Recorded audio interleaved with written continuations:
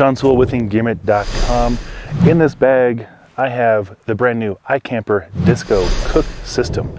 In this review, I'm gonna go over how to assemble it, the three different ways you can use it, show you some pictures and videos of us using it on the last several weekends camping trips, and give you my overall impressions and thoughts on it. So let's get into it.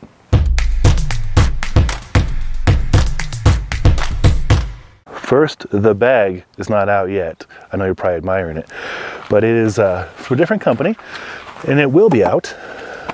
And we'll get into that in a different review.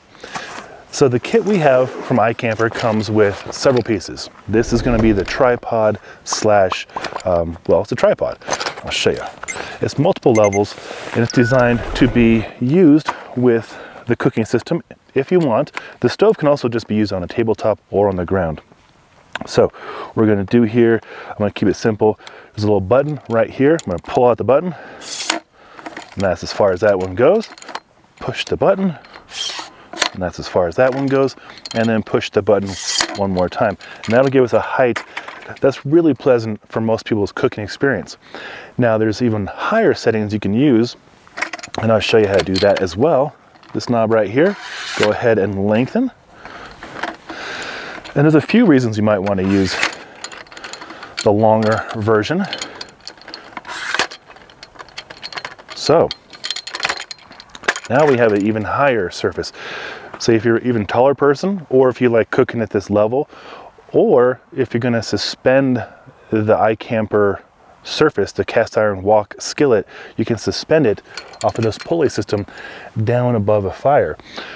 Case number three, and I've never seen anybody use this yet, but each of these holes will fit uh, a camera mount or a scope. So if you're out glassing, you hunters out there, or if you're like me and you have your camera gear with you at all times, you could put a little uh, mount right there, and then all of a sudden you have a very, very sturdy camera mount. Pretty sweet. So I'm gonna lower it down to the middle level, which is where I would usually use it for cooking. And I think most people would as well. And it's also multiple adjustable, so you can pick how high or how long you want it to be to suit your best needs.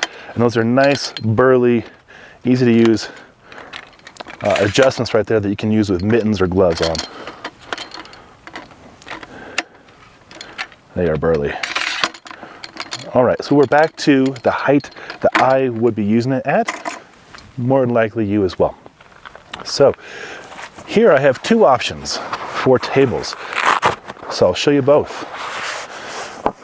Option one is just this nice hardwood that has engraved in there iKamper.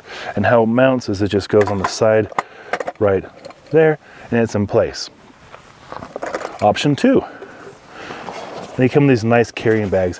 Everything that they sent over is just really well made.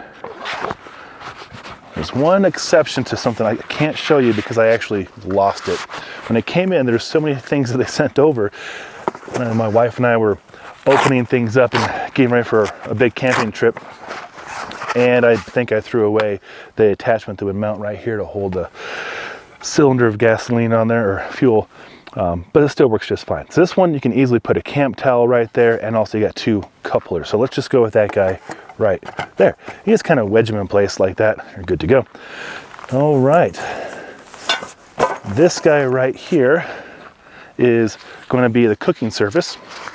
Now again, you can cook on them three different ways. You can suspend them with the chains provided through these holes, and then it would suspend down here, chains come up here in that higher tripod mode, or how I'm gonna show you, I'm gonna put it on top of the stove.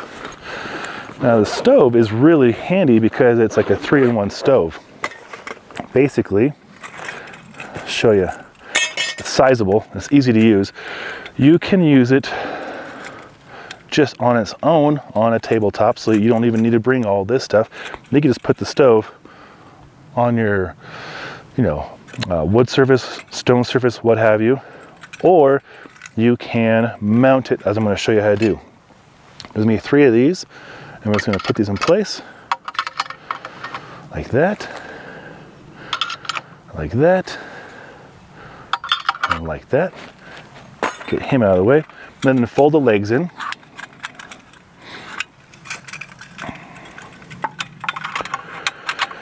And it'll only go one way. So now he's in there like so. Now we get our fuel. And for the fuel, I'm using the isobutane mix right here. That is the cap that it has. It's not a propane canister. There may be adapters out there, I don't know, but this is the fit. It's gonna be something you can get at REI or other outfitters. It's very typical, very common camp stove fuel. And since I misplaced the little doodad to hold it onto a leg, I'm just gonna hold it right there. And now the magic happens. So I'm gonna open the throttle up and then the push button's right here. It goes from here to there. Makes this sound.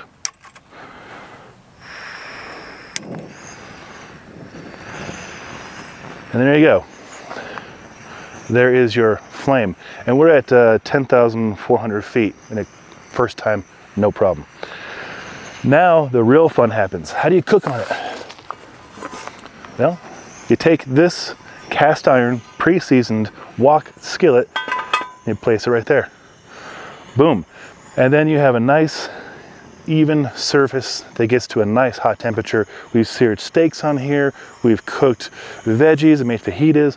We've a lot of camp food you're probably thinking of doing, you can do in here easily. And it's nice because it's not a huge dipped wok, so it doesn't keep all the ingredients like center right here.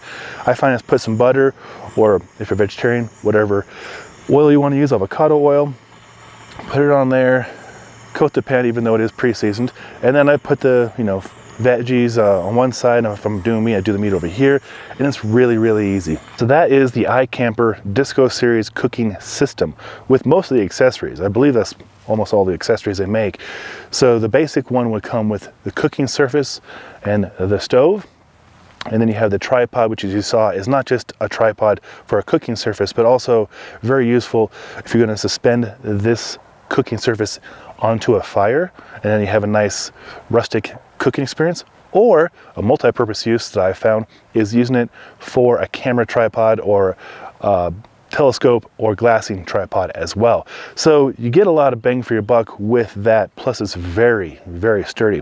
And then the cooking tables I showed you, there's this one right here. Uh, it'd be very easy to put a towel or paper towels over this. So you have a place to clean your hands, you can have your drink and your friend's drink right there. Uh, they're very sturdy, hardwood, and they clean up very easy, soap and water. Everything comes with nice packaging. Again, look in the packaging. Do not throw anything away. It doesn't need to be thrown away like I did. But nonetheless, with my error, we're still able to safely and entertainingly use the iKamper Disco system.